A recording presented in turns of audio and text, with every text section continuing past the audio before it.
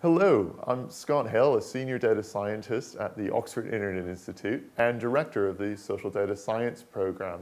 I'm excited to tell you a bit about the MSc today. The course is really designed uh, to confront two challenges that have, have arisen. The first is the uh, vast increase in the amount of data that's available about human behavior and how we can use that data to understand social science questions and human behavior, uh, societal behavior more generally.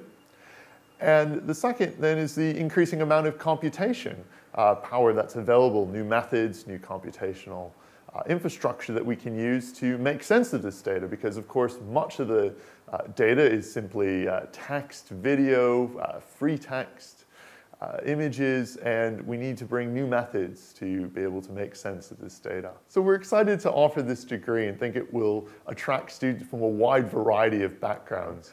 We're looking for students who have some of the core quantitative skills already set, so understand things like matrix multiplication, um, and say some introductory calculus, although we'll also be offering review materials for these uh, over the summer prior to the, the start of the course.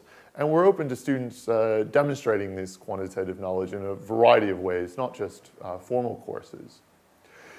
And what we're really looking for are students who are wanting to challenge themselves in this domain, to be able to tackle these new methodological questions about how to deal uh, with data of this nature, uh, often unstructured uh, and often at large scale, and be able to challenge themselves in the methods uh, to either create new methods or adapt uh, existing methods to be able to analyze that data, and then look to apply that uh, in order to answer social science questions. And then what we're going to be trying to do is extend uh, those core skills and so able to teach things like machine learning, teach the introduction to scripting and programming.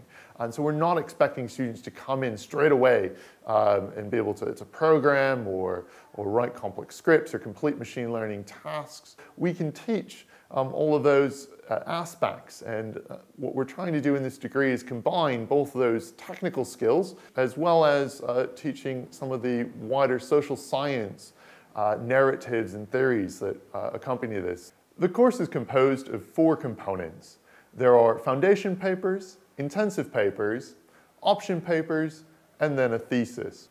The first of these foundation papers are designed to cultivate some of the core skills in the discipline to teach key social science theories, key methodological concepts uh, to ground the whole of, of, the study. The second type are uh, intensive papers. These teach core methodological and technical skills, in particular, uh, programming and for data capture and cleaning, uh, being able to scale analysis to large data sets, as well as the fundamentals of machine learning. The third component are option papers, and these really give students a choice to be able to choose to get more in-depth knowledge in different parts of the field. Some of these will be more focused on the social science aspects of the course, things like data science of government and politics, uh, or sociological analysis, sociogenomics.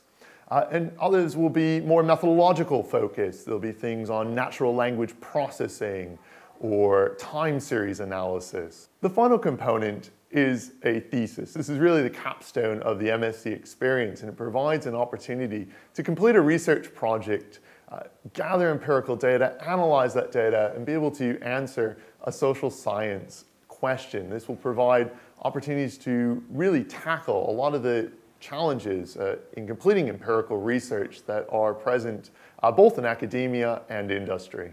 As you may know, the Oxford Internet Institute has two MSc degrees, uh, one in social data science and one in social science of the internet.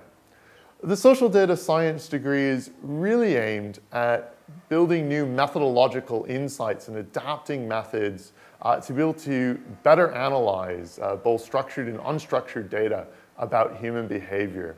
We anticipate that students completing this degree will go on uh, for further study in a variety of disciplines, uh, but particularly more technical disciplines and maybe publishing their findings in computer science conferences or statistical journals and new interdisciplinary venues.